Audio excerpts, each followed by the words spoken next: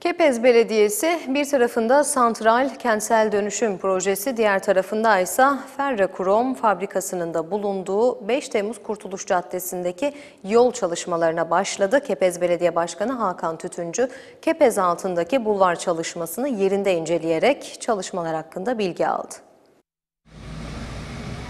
Santral kentsel dönüşüm projesi çalışmalarını yürüten Kepez Belediyesi bir taraftan da ilçede yeni yollar açıp bulvar düzenlemeleri yapıyor.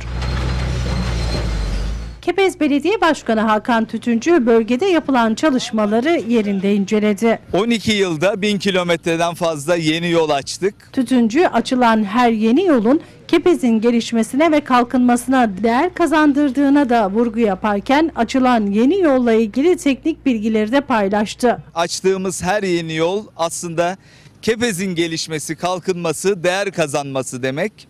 O anlamda yeni yollar açmaya gayret ediyoruz bölgemizi daha çok değerlendirmek için. Şimdi üzerinde bulunduğumuz cadde 5 Temmuz Kurtuluş Caddesi. Bilenler bilir burası eskiden iki şeritli küçücük bir yoldu. Şimdi ekiplerimiz çalışıyor. Fevkalade güzel bir yolla burayı 6 şeride çıkarıyoruz. Ve bisiklet yolları da olacak burada. Bundan dolayı büyük bir mutluluk duyuyoruz. Kepez altındaki 5 Temmuz Kurtuluş Caddesi'nin bir tarafında santral kentsel dönüşüm projesi, diğer tarafında ise ferrokrom fabrikası olduğunu belirten Başkan Tütüncü, Kepez'in yolunun da bahtının da açık olduğunu söyledi. Bu cadde santrale kadar devam edecek ve santralden de 30 metrelik yeni alternatif bir güzergahla birlikte çevre yoluna üniversitenin üstündeki yola bağlanacak.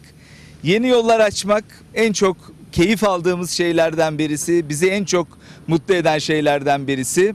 Kepez'in yolu da açık, Kepez'in bahtı da açık. Biz yeni yollarla hemşerilerimize hizmet etmeye devam edeceğiz. Kepez Belediye Başkanı Hakan Tütüncü'ye incelemeleri sırasında Kepez Mahalle Muhtarı Yusuf Küçükkaya da eşlik etti.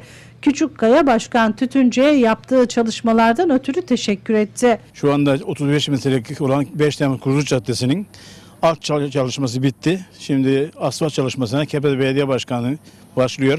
Başkanımıza teşekkür ederiz. Ee, bu yolun bir an önce açılması için kendilerine istemiştik. Ee, bayrama da bu yolun açılacağını söyledi, söz verdi ve söz verdiği gibi de yol şu anda başladı, çalışması yapılıyor. Belediye ekipleri yol açma çalışmalarını tamamladıkları güzergahın bayramdan önce asfaltlanıp hizmete girmesi için çalışmalarını sürdürüyor.